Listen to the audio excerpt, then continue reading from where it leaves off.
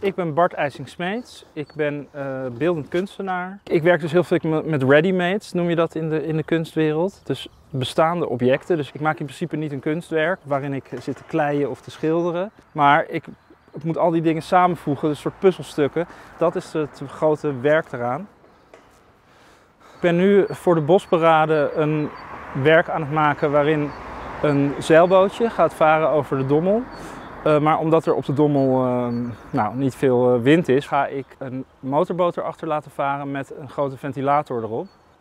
Het absurde van, van het alledaagse probeer ik uit te vergroten.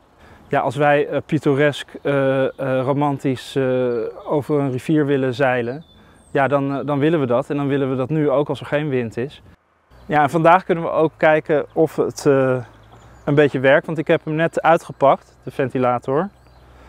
En de aggregaat, dus de benzinegenerator om dus de elektriciteit te maken. De eerste, eerste droge test. Nou, test 1, uh, zeg maar.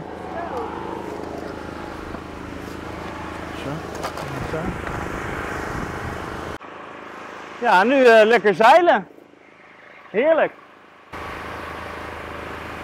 Het is ook wel leuk dat uh, de uitlaatgassen van de generator, die worden ook meegeblazen. Dus uh, dat pittoreske zeilgevoel uh, is behoorlijk verstoord. Dat is wel mooi symbolisch.